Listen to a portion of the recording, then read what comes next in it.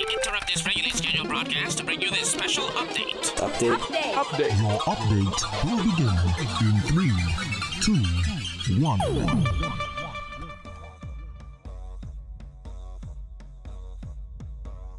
Today we are here with the Honorable Dr. Andus Gracita Arrindell, the Honorable President of Parliament, the first ever President of Parliament, and still President of Parliament. I've almost like it was destined because you left and it came back to you. Um, God is good. all the time. The number two candidate on the UP party for the upcoming parliamentary elections on August 29th. Um, Dr. Honest, welcome. Thank you for joining us. Um, I never Yep. left. no, exactly, exactly. This is not your first time. This you've been in this political scene for a while. You've been, you've campaigned um, numerous times. Um, this is just another go round for you. Um, is it any different this time around than for, for previous years? Um, not different in the sense of um, contacting the people, staying in touch with them, um, making sure that you bring the issues forward that you want to share with the public, what you want to change on their behalf once re-elected. Um, but difference is tackling it from the point of view of being a sitting parliamentarian. And um, I, it's very exciting um, actually. Um, it is also different because the past four years I consider that as a transition phase for St. Martin into the new status. Transition uh, phase whereby we had to build our nation.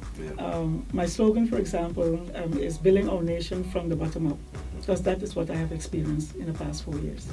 Now the campaign is it's also very different because you're not just a sitting MP, but you're the president of parliament. And that alone comes with its own sort of responsibilities, Responsibilities, and burdens. Absolutely, protocols and everything that goes with it. yeah, how do you find the time? I make the time. Right. I make the time. I, you know, as women, sorry men, uh, we we have the ability still um, to a great extent to multitask. Um, so from that perspective, I have my, my day planning well organized. I know my responsibilities, so it's not a chore for me. So it's not a burden for me. Right. Um, you just have to plan and plan ahead and plan uh, plan very um, wisely, Right. and I, I get it done. Is it something you you enjoy? Because look, looking at, at, parliament meetings, again, people will look at it and, and say, "Boy, this is a tough job. You have to sit on there for hours." Correct. And is it something? Is it a task that you really en- you enjoy doing for the people? I enjoy doing it for the people. In fact, I'm very grateful for the opportunity. Uh, but once sitting there, indeed, sitting for many, many hours, even for that, you have to be mentally ready. And I am ready, knowing the political arena that, that I'm, I'm presiding over with the different factions.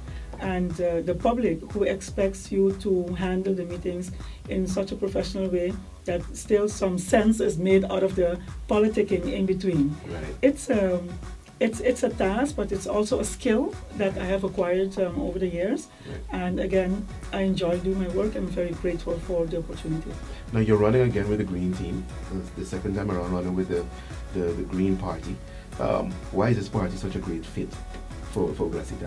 It's a great fit from the outset. It's a great fit because I have been instrumental also um, four years ago when we when we discussed the the Formation. um, formation of the up party.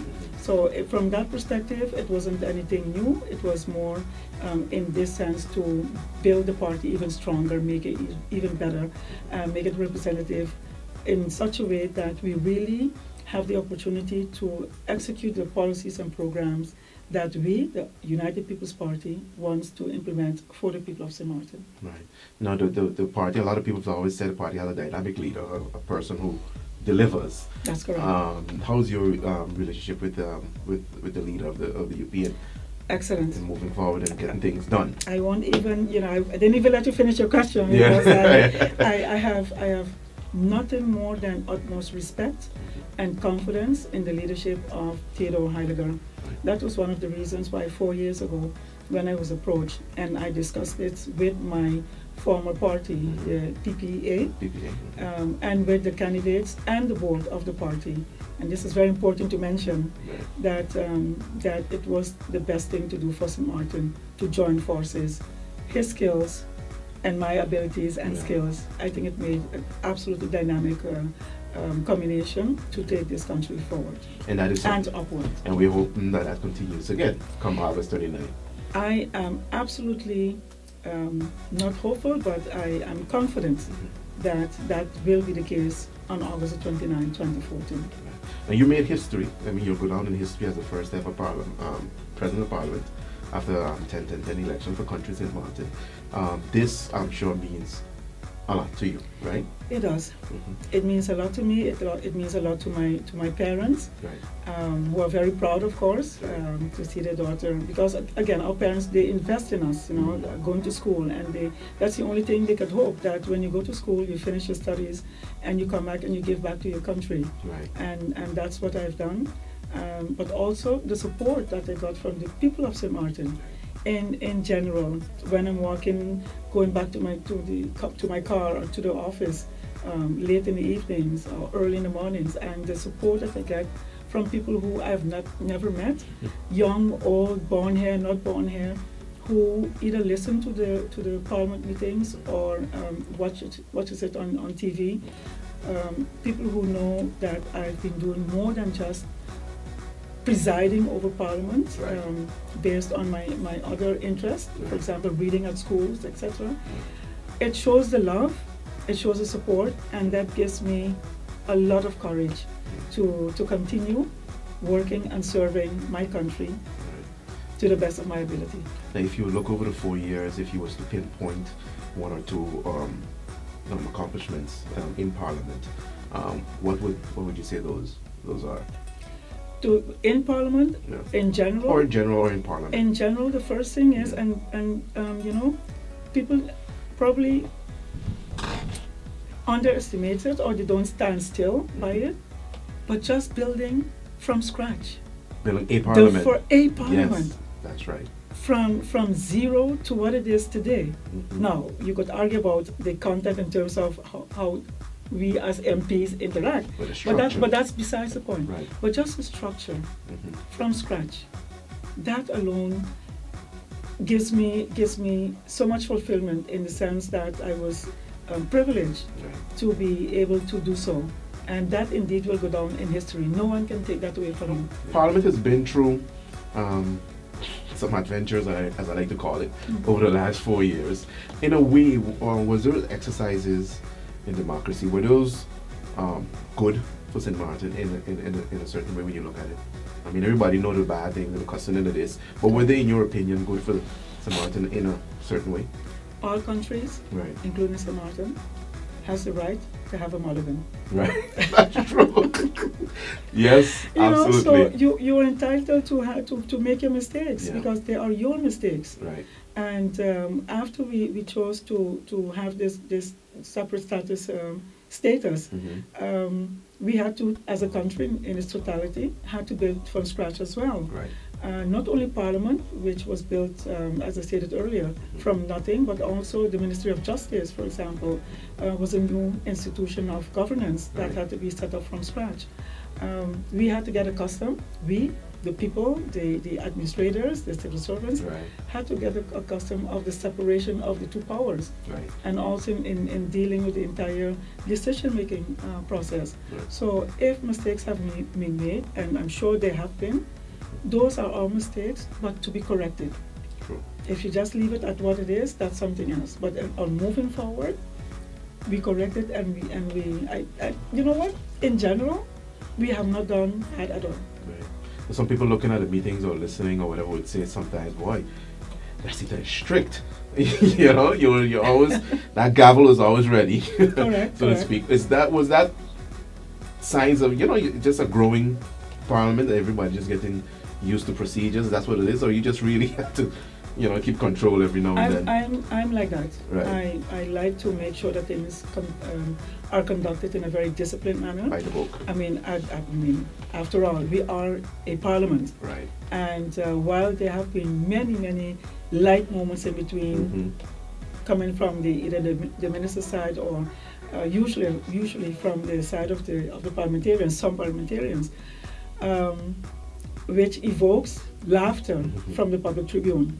My role as the President of Parliament is to make sure that there is everyone adheres to the rules and regulations, and you might not, you may not incite. Right. Um, the public has also has to make sure that it abides by the rules of the House of Parliament. Right. Um, and that task, I am very much aware of it. Right. I cannot be part of the of the total package. Um, you you are one of the 15, Mhm. but you're primus inter pares. You are still um, the first under equals. Right. As I said, de eerste onder Right. You have to maintain the You have to maintain that and make sure that the order is kept. That's why you're sitting there. Otherwise, it will be chaos.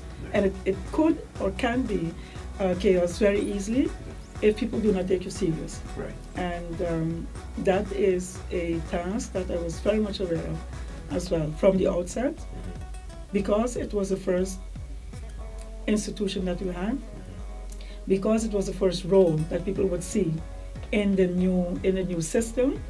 Um, because I am a woman, Right.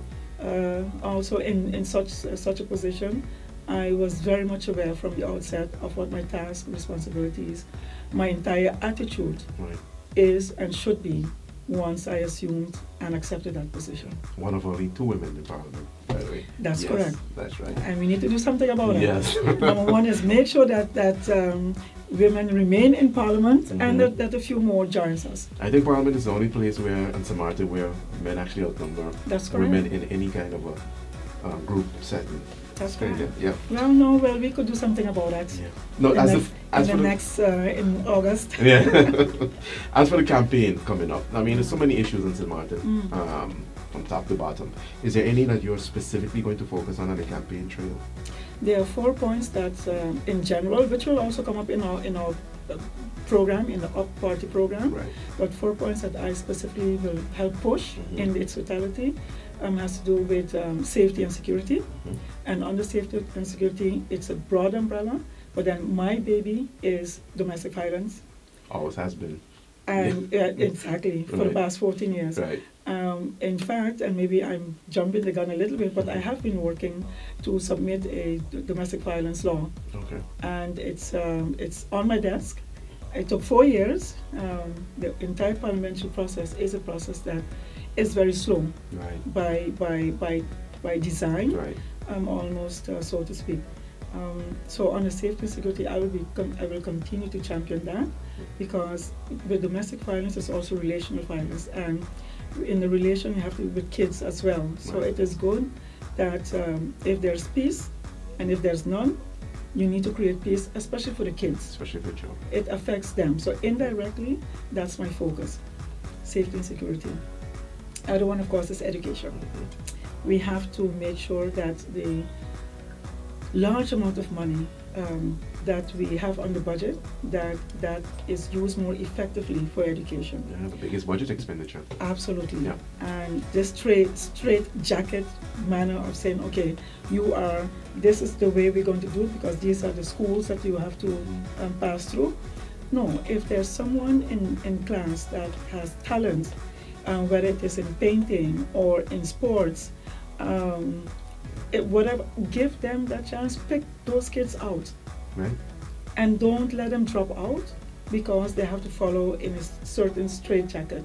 That is not really beneficial in general to to um, the the brilliant minds that we have there and that, that we are losing. Right.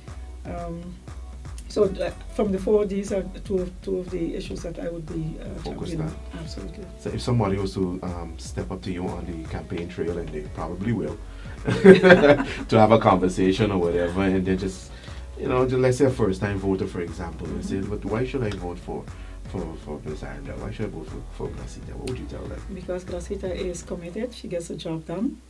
I am qualified, I know what I'm doing, and um, my, my passion and my commitment is to ensure a better quality of life for everyone.